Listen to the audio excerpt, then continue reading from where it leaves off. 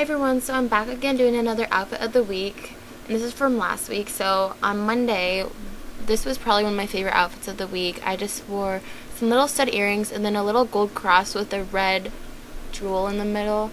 And then I have on this leopard tank top that I got last spring. And then this red cardigan, which I really I really like this cardigan. And then a black sparkly belt and some dark wash skinnies.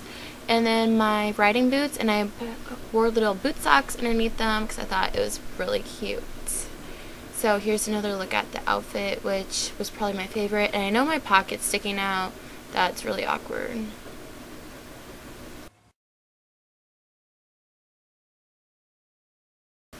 So now on to Tuesday.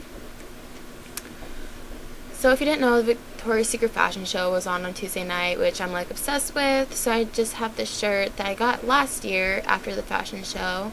And just says Victoria's Secret fashion show. And then I wore this long black knitted cardigan and my black pixie pants and just these kind of light brown boots.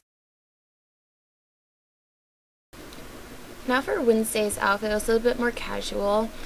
I was just wearing this white watch that I got last Black Friday and then this green long sleeve shirt and a white scarf over it and then my favorite belt and my pair of Miss Me's and then just some moccasins.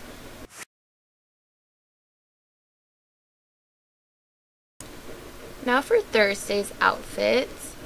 This one, I really like this outfit too. It's just wearing the same little studs as before. And then I had my hair up in this messy bun, top knot, and I was wearing two of my favorite bracelets. And then my nails are Essie's Turquoise and Caicos. And I'm wearing this really cute fall shirt that I really like. It has buttons at the top and a little tie at the bottom.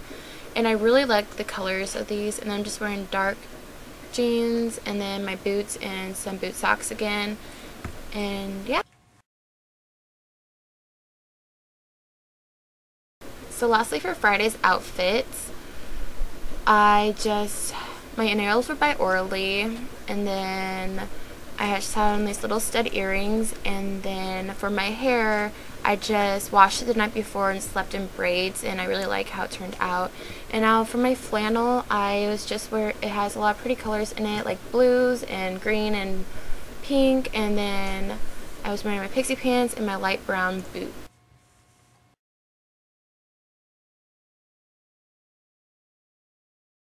So thank you so much for watching. I hope you enjoyed this. Leave a comment down below of your favorite outfit and I'll see you guys next time.